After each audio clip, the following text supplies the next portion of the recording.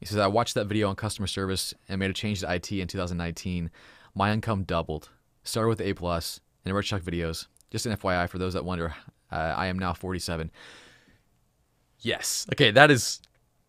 I got chills. I got, if, if I could zoom in right now, you see goosebumps. That is what I'm freaking talking about. That's that's that's the whole thing. That's why I do this. Um, that's so cool. I got to read that again. Changed into IT into IT 2019, doubled his income.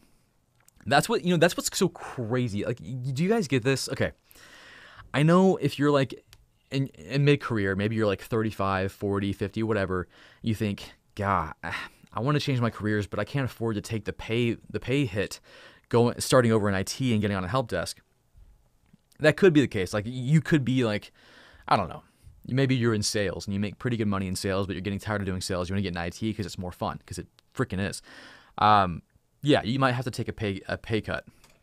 But for a lot of careers, the entry level IT positions they they pay more. they pay more than other careers, which is crazy to me.